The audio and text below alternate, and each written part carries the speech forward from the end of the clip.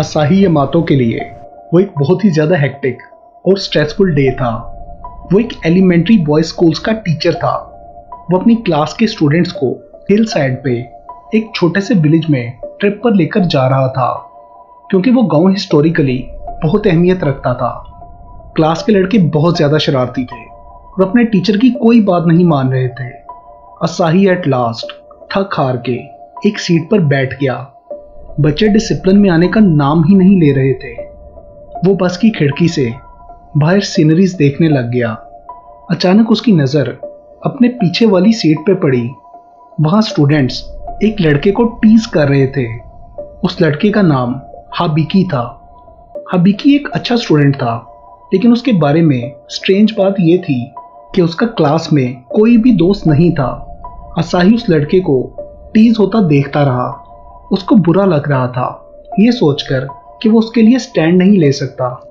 उस लड़के को देख के उसे अपना बचपन याद आ गया और उसको इस बात का अंदाज़ा था कि अगर उसने स्टूडेंट्स को मना किया तो वो लड़के टीचर की एब्सेंस में हबीकी को और ज़्यादा टीज किया करेंगे। असाही ने बस की खिड़की से बाहर देखा तो उसे सड़क के किनारे एक गाय की डेड बॉडी पड़ी नज़र आई, जो कि शायद काफ़ी दिनों से वहीं पड़ी थी। उसे देख के असाही को स्टूडेंट्स की अटेंशन ग्रैब करने का एक आइडिया आया। उसने ऊँची आवाज़ में स्टूडेंट से कहा, मुझे एक स्टोरी का पता है। क्या तुम लोग सुनना चाहोगे? एक ऐसी स्टोरी जो पहले कभी किसी ने नहीं सुनी? स्टूडेंट्स ने एक दूसरे की तरफ़ देखा। वो जानता था कि स्टूडेंट्स की अटेंशन गेन करने के लिए उनका इंटरेस्ट डेवलप करना पड़ेगा। ये एक ड्राउनी कहानी है, उसने कहा। एक ऐसी कहानी जिसको सुनाना मना है। लेकिन मैं तुम लोगों को सुनाऊँगा। अगर तुम सब प्रॉमिस करो कि तुम ये आगे किसी को नहीं बताओगे। सभी लड़के अपनी सीट्स पर बैठ गए। वो अपने टीचर से स्केरी स्टोरी सुनना चाहते थे। उन्होंने हबीकी को तंग करना भी छोड़ दिया था। हमें वो स्केरी स्टोरी सुनाओ। उनमें से एक लड़के ने कहा असाही ने उनकी तरफ़ मुस्कुरा के देखा। उसने उन्हें एक आदमी योशी की स्टोरी सुनाई। जो अपनी बीवी और बेटे के साथ गाँव में रहा करता था। बहुत तेज तूफ़ान से उसका घर तबाह हो गया। कुछ दिन भूखा रहने के बाद उसने खाने और पनाह की तलाश में साथ वाले गाँव जाने का फैसला किया। लेकिन वो गाँव बहुत दूर था और रास्ता बहुत ज़्यादा कठिन, लेकिन सबसे बेरहम उस इलाके की सर्दी थी। एक जगह पहुंचकर उसे रियलाइज़ हुआ कि आगे का रास्ता बहुत ज़्यादा ख़तरनाक है। सो अपनी बीवी और बच्चे को साथ नहीं ले जा सकता। उसने उन्हें यहीं छोड़ के आगे से मदद लाने का फैसला किया। पास में ही उसको एक डेड काउ नज़र आई। उसने अपने चाकू की मदद से उस डेड काउ का पेट चीर के खोल दिया। उसने बीवी और बच्चे को इसके अंदर बिठा दिया और कहा कि अगर मैं 20 दिन तक वापस ना आया तो मेरा इंतज़ार ना करना और कहीं और रास्ता ढूंढना। देन वो ठंड में उस कठिन रास्ते पर चल पड़ा।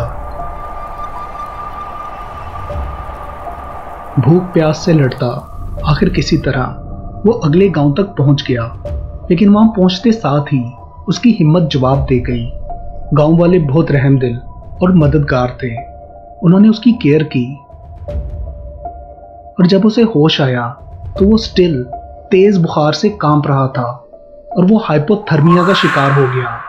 और एक ऐसी कंडीशन में चला गया, जहाँ इंसान का माइंड उसके कंट्रोल में नहीं रहता और अजीब अजीब चीज़ें नज़र आती हैं।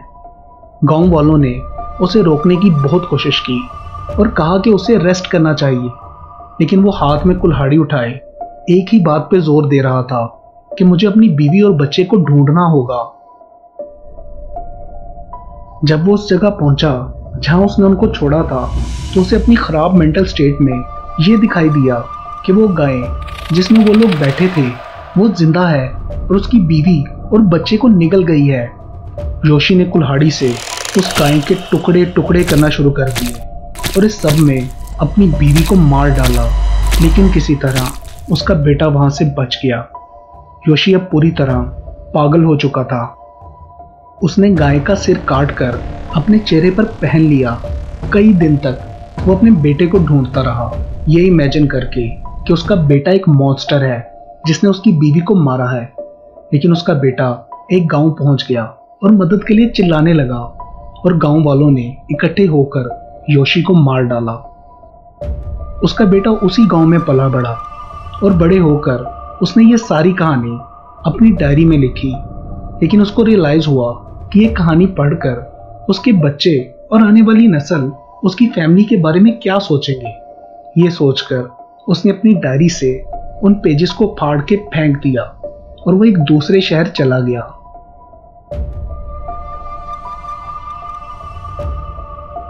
आसाही ने स्टोरी को एंड किया और वो ये देखकर बहुत खुश हुआ कि सभी बच्चों ने खामोशी से बैठकर डिसिप्लिन में उसकी स्टोरी सुनी थी। उसकी नज़र हबीकी पर पड़ी तो वो बहुत इंटेंटली उसी की तरफ़ देख रहा था। उसके चेहरे पर एक अजीब सी मिस्टीरियस स्माइल थी, एंड देन उसने कहा, असल में ये सब नहीं हुआ था। ये गोजू की ट्रू स्टोरी नहीं है।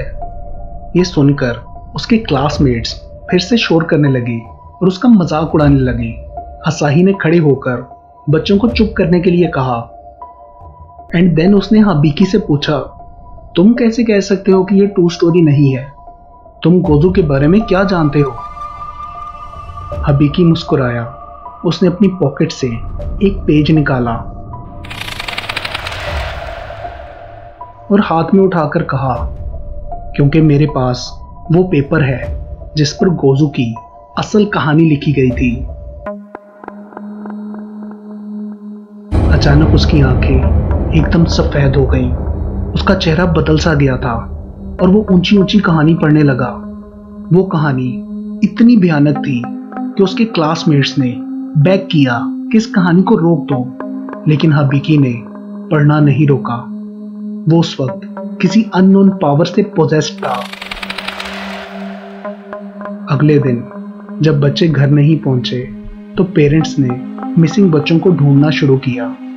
गाँव से कुछ किलोमीटर्स पहले, उन्हें बच्चों की बस सड़क के किनारे उल्टी हुई दिखाई दी। ये वही जगह थी, जहाँ ट्रिप पर जाते असाही को वो डेड काउ नज़र आई थी। मदद के लिए पुलिस को बुलाया गया। स्कूल टीचर्स और बच्चों की डेड बॉडीज मिली, जो कि बहुत ही अजीब कंडीशन में थी। उन सब के मुँह से झाग निकल रही थी। सब मर चुके थे, सिवाय एक के। हबीकी अपनी सीट के पास बैठा था और स्टिल मुस्कुरा रहा था। गोजू की असल कहानी तारीख के पन्नों से गायब हो चुकी है।